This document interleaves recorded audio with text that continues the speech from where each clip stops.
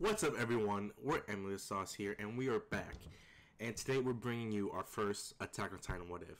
Since, you know, season 4 is starting out, we thought, you know, it should be good to do something like this. Because we don't see a lot of What Ifs on Attack on Titan.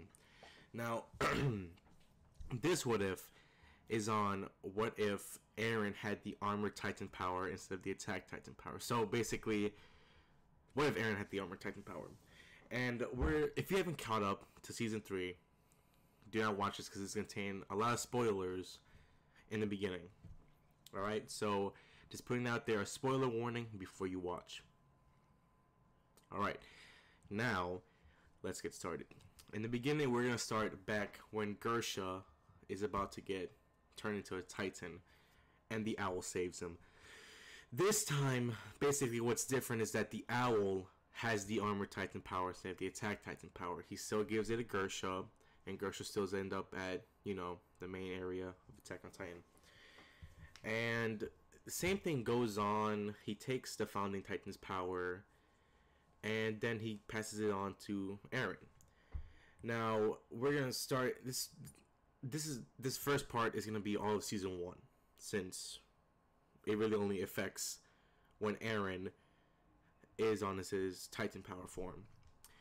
So we're gonna start in the beginning, and the only changes are that the armored Titan doesn't break through the wall. Also, for y'all's information, Reiner would have the attack on Titan power for this what if. So Reiner with the attack Titan power would try to break the gate but isn't powerful enough. And the Colossal Titan would just break the wall in this what if.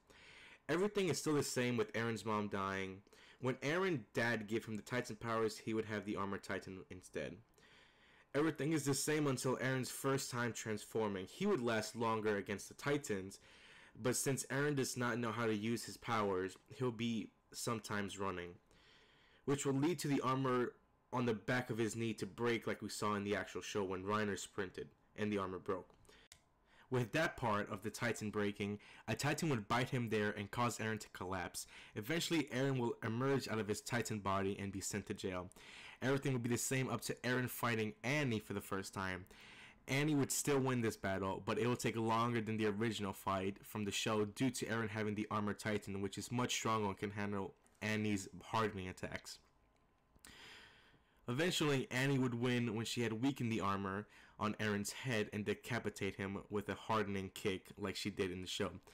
Then the scene will play out like they did in the show. Levi and Mikasa will save Eren. Eventually, everyone will figure out that Annie is the female Titan. The scouts will come up with a plan to lure Annie underground, and like in the show, it wouldn't work. Things will play out the same like they did in the show up till Eren transforms. Eren, now knowing what Annie can do with her powers, can win against her. He has great defense and only has to watch out for her hardening attacks. Annie would still make a break for the wall and climb it until Mikasa cuts her down. Then Eren would pin down Annie, but she'll still crystallize herself before anyone can get to her. Annie would be kept in prison in the basement, and people would still see the wall Titan through a hole Annie made when she climbed the wall. Alright guys, that's we left since that's the end of the first part. The second part might also be the whole of season 2. But we hope you all enjoyed. Um, make sure if you want to watch this, catch up on Attack on Titan. And yeah, thanks for watching. Leave a like if you did, and we'll try to make more as we can. Alright, see you in the next video.